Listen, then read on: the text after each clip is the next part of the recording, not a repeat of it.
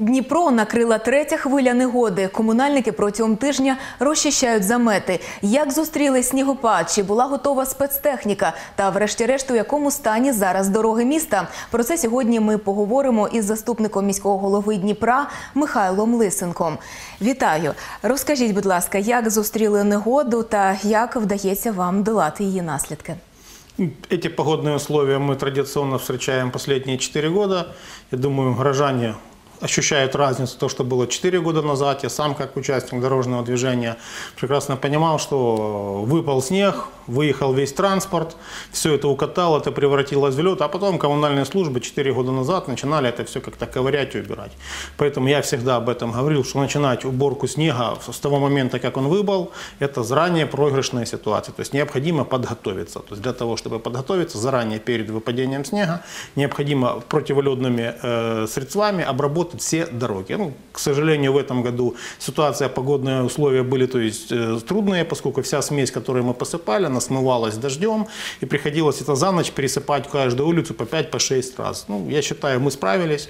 У нас в городе сейчас достаточно коммунальной техники. К сожалению, не в всегда хватает человеческого труда, поскольку не все желают идти работать за 9 тысяч гривен. Но, тем не менее, я считаю, мы справились. Давайте про все е, по порядку. Е, Спочатку розкажіть про суміш е, соляну, чи є вона, чи достатньо її, чи встигають скрізь посипати доріжки, бо сніг е, продовжує йти.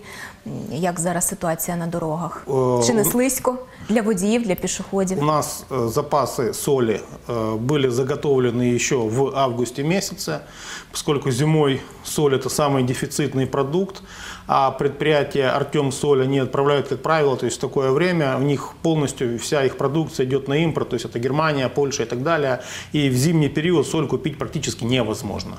Поэтому мы закупили ее заранее, еще в августе месяце. То есть у нас ее годовой запас, у нас даже оставалось там несколько там, десятков тонн с прошлого года, то есть 2018, тем не менее мы закупили ее достаточно. В этом году мы практически полностью на 90% отказались от использования э, соли и песка. Вместо песка мы сейчас используем очень мелкую гранитную крошку, поскольку, во-первых, ее и легче убрать с проезжей части, и она работает более эффективно. В прошлом году мы попробовали, нам понравилось. Скажіть, будь ласка, ну е, взагалі чи вистачає людей е, для того, щоб це робити, посипати? Чи вистачає техніки? Бо зараз усі, мабуть, городяни могли помітити, що проїжджі частини краще розчищені ніж тротуари. У чому проблема? Чому так відбувається? Это есть э, два фактора. Первый, у нас не совсем в хорошем состоянии, ну, никто же никого не собирается обманывать, состояние тротуаров. Э, Не везде может заехать коммунальная техника, поскольку либо исторически сложившиеся у нас узкие проходы, и, поскольку, и это приходится выполнять исключительно вручную. К сожалению, людей, которые занимаются ручной уборкой, а на коммунальном сленге их называют ручники, их не всегда хватает. То есть на сегодняшний день у меня где-то нехватка таких людей, порядка там 350-400 человек, которых мы бы с удовольствием взяли. Но испытываем дефицит кадров. Либо приходят люди, которых к сожалению, после два дня работы, посмотреть, как они работают, их брать оставлять нельзя, либо людей не устраивает заработная плата, то есть, ну, я считаю, на сегодняшний день 9 тысяч гривен, обычный труд для того, чтобы убрать снег, это достаточно. Мгм. Е, Розкажіть зараз, які райони найбільше постраждали від негоди міста у місті, Е, які можливо були е, проблеми, можливо, пориви проводів, можливо, е, повалені дерева, затори. Що виникало? Э, Самая острая проблема, самая тяжелая, то есть со снегом мы традиционно справляемся, я считаю, достаточно неплохо, То в этом году была огромная проблема, это с упавшими деревьями, их упало порядка 240, и у нас было огромное количество обрыва уличного освещения. То есть на сегодняшний день у нас осталось невосстановленными 4 улицы, но я планирую, что до конца недели, то есть, ну, извиняюсь, там, ну, до понедельника мы восстановим все. То есть это было вызвано тем, что э, вначале пошел дождь, потом пошел э, мокрый снег, и резко была минусовая температура, и еще высокий ветер. Поэтому произошло обмерзание проводов, и это привлекло к их обрыву.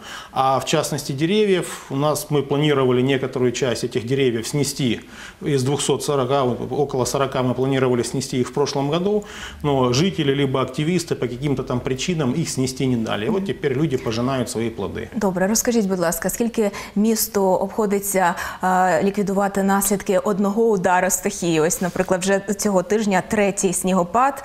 Скільки коштує ось е, доба прибирання такого такої напруженої роботи протягом е, Э, тижня? Если посчитать, у нас Это только э, коммунальная техника, которая занимается расчисткой дорог. У нас работает 130 единиц всего в разные дни. Когда-то 90, когда-то 80, когда-то 100. А, Стоимость э, ликвидации подобных э, погодных проблем, в частности выпадения снега, обходится городу от 1 миллиона гривен от 1 миллиона гривен. Если погодные осадки ухудшаются, то, соответственно, и ухудшается и повышается расходная часть, затраты часть, это же соль, это же гранитная крошка, это же топливо, горюче-смазочные материалы, то есть, и вот, я вам сказал, цена такая от миллиона гривен. Добре, зрозуміло.